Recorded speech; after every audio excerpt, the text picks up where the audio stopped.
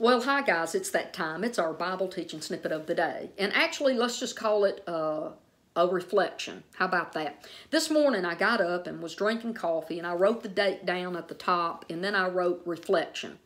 And I was just thinking about that I have been on Facebook now for a bit over three years. I think it's three years and three months. I've uploaded close to 850 videos.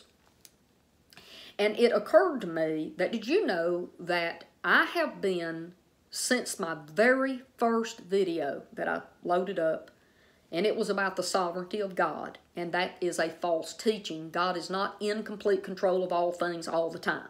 My very first video I posted was coming against a false doctrine that's prevalent in the American churches. And why would I say that? Well, the sovereignty of God, believing that God's in complete control of all things all the time. When you get told you've got cancer, you're going to submit to cancer because you couldn't have cancer unless God wanted you to have cancer.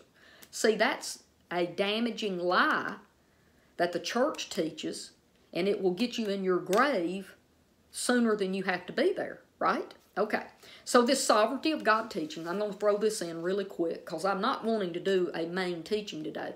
But the sovereignty of God, yes, God knows the beginning and the end, but he doesn't know, or he does, should I say, he doesn't choose to know and be in control of all things all the time. Now I got to prove it to you.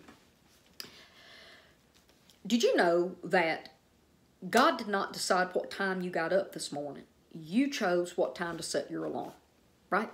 Did you know that you decided what you wanted to eat this morning, if you even ate. I didn't eat breakfast, but so I chose not to eat breakfast today. Now, I'll go one step further. Did you know that God does not decide for you how much of something you should eat or what you should not eat, what's not healthy for you? Did you know that He doesn't decide if you're overweight or underweight? He doesn't decide if you're sick or healthy. You do. Did you know he doesn't decide if you go to a doctor? He doesn't decide if you take prescription drugs and how many of those you decide to take. See, so God's not in complete control, is he? Now, do I believe that God's going to get his way? Ultimately, in the end, oh, you better believe it. He's not going to override your free will or my free will, and he's still mighty and great enough to get what he wants in the end because he's just that super. Yes, he is. So, uh, as I was reflecting today, let me keep going. I'm going to read you some more things that I've taught. I taught about suicide over three years ago, and I said back then, answering a question, do people that commit suicide go to hell? And my answer back then was no. And back then, I did not believe in this place called hell, where this God who has no love and no mercy throws people to torment them forever in a lake of fire.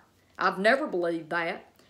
And I actually believe the Bible that says that God, His mercy never ends, hmm, and He's full of mercy, and He has never ending love for us. See, that's what I believe. So that was kind of opposing itself when I became a believer, so I couldn't believe in hell because of that. Okay. And yes, I have in the last month been teaching about the Roman Catholic lie that St. Jerome put in the Roman Catholic Church in the 5th century. And all of us smart people here in America, we know that hell is real because we're so arrogant that we think we know everything. No, you're believing a Catholic lie. And look, guys, you don't have to take my word for it. It's right there. All you got to do is get on Google. It would take a person 20 minutes to know that hell doctrine in our American churches is a lie. But you know why we don't? Many of us want to believe that because we have somebody that needs to go to hell. And we don't want God to have mercy on that person, so they need to go to hell and be tortured by an unloving, unmerciful God forever and ever. So anyway, let me keep moving. I also taught uh, a series on Job. Did you know uh, the church will go to Job and pull out things out of context, either by Job or his three friends, and form church doctrines out of that book from people that did not know God. No, they did not know God. I'm going to quote a scripture for you real quick. Jesus said, No one, that would include the four people in the book of Job, by the way, no one has ever fully known or understood the Father except the Son. Okay, now, so Job didn't have an excuse for not knowing God, nor did his three friends, because they didn't have Jesus to look at, read about, know about, to know the Father. We are without excuse for going to the Old Testament or the book of Job to make doctrines about God from men that did not know God. We have no excuse because we do have Jesus. And Jesus said, If you have seen me, you have seen the Father. So when you're teaching things out of the book of Job, that's opposite of who Jesus says God is. That means that you don't really know Jesus, or you would know that that was untrue. Kind of deduction there. But we go over to the book of Revelation in the New Testament and we go and do our little verse snatching out of that. And then we get in pulpits and teach some of the stupidest stuff from a book that the writer says in the very first two or three verses. The writer of the book of Revelation says that he is writing in symbolism. And we take and turn it into something literal, and we will point to that. See, it says that right there. And we have no clue what the man's trying to tell us because by 110 AD, the church leaders did not know what the book of Revelation meant and what it was being written about. You can check that in history too. You can read the councils and the arguments that they had for 300 years about the book of Revelation. All of this stuff is out there, guys. All you got to do is take the time and research it. It's right there for you.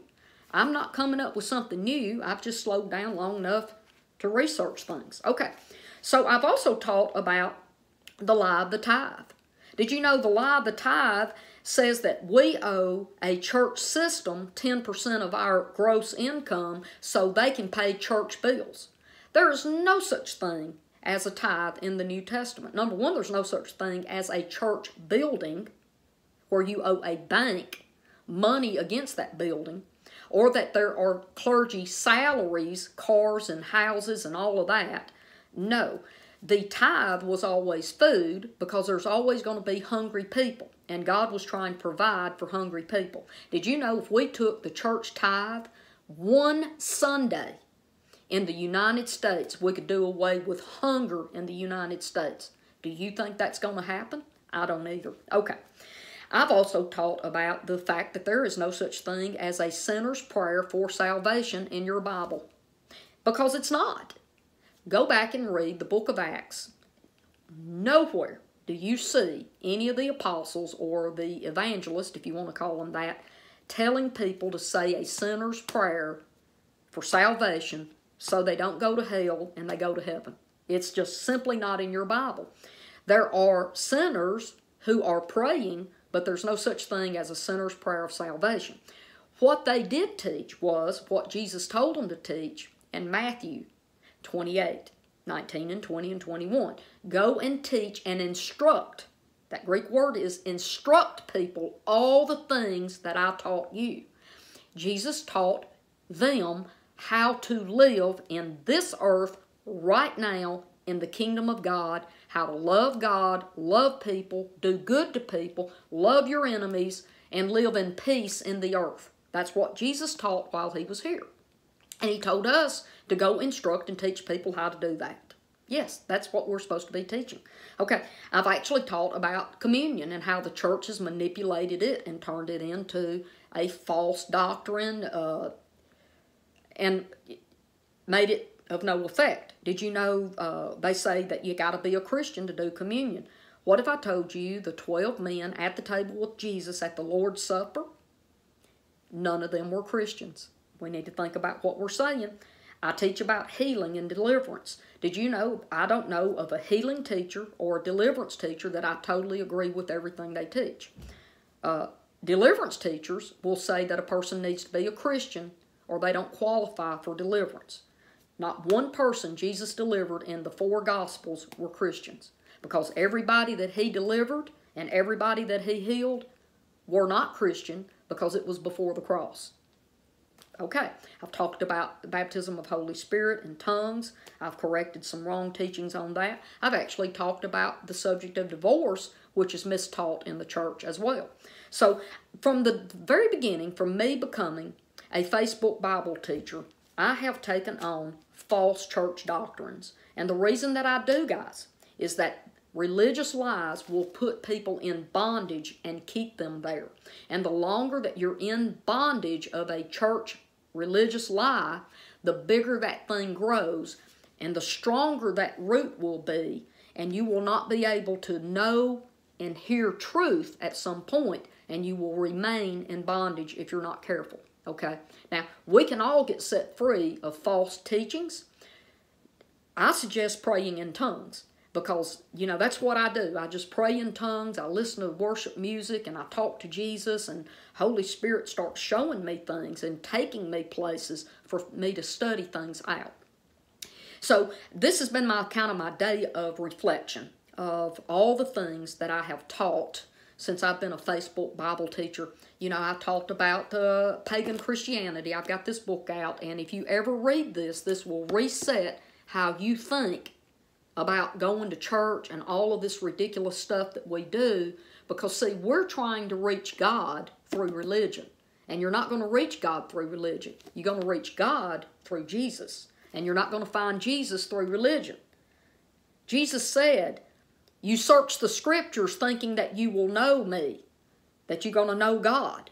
And I'm standing right here in front of you. That's what he was trying to tell them is, you know, you're just going through all these scriptures and you're get, it's kind of like an Easter egg hunt, you're on the wrong trail. And I'm not telling you not to read your Bible. I'm telling you that you got to read your Bible through the lenses of love and Jesus' love. Jesus was the exact image and representation of the Father. He is the only source that you're ever going to find God the Father through. You know, uh, I don't know that I've uh, mentioned this, but in the Old Testament, it mentions uh, mentions on uh, that uh, God is Father, but it's not personal. It's not a personal where the writer is saying God is my Father or God is our Father, okay? It wasn't until Jesus came that God would become Father, Abba Father. 176 times, something like that, in the Gospels, God is referred to as Father. A hundred of those is in the Gospel of John, okay? Almost 300 times in the New Testament, God is referred to as Father. So, see, Jesus came and He showed us who the Father is. He is our source of knowing who the Father is and knowing truth. Now, I'm going to let you go today, I think, and tomorrow, I don't know what I'm going to teach, but I'm going to tell you this. I love you and I appreciate each and every one of you who has tuned in and listened to me over time do my Bible teaching snippets. And before I close, let me say this. I've had over 20 people uh, send me private messages on Facebook Messenger thanking me for this last thing that I've been talking about, the false doctrine of hell, and that God is going to bring all things back into reconciliation to himself ultimately at some point. Okay? I've had over 20 people thank me for uh, teaching about that. I've got one pulled up that I was going to read to you today. She just talks about how she appreciates me and her journey with God. That one time she was pretty much a King James only kind of person. And I showed her that that was probably an error on her part. And here's something else that she said. She said, uh, I think the reason I believed in this unending conscious torment for sinners was because I read only the King James Bible. But she thanked me, guys, because her mother died in a car wreck and her mother was Catholic and she said she knew that Catholicism was a false religion and she thought God had put her mother in hell and was tormenting her forever and ever because she never was told the truth because she believed in Roman Catholicism. And she thanked me because now she knows that all of that's just a bunch of lies and she can rest knowing that God's got her mother and He's going to be faithful to her mother. Anyway, guys, I'm going to hop off here. I love you and I'll see you here tomorrow. Bye bye.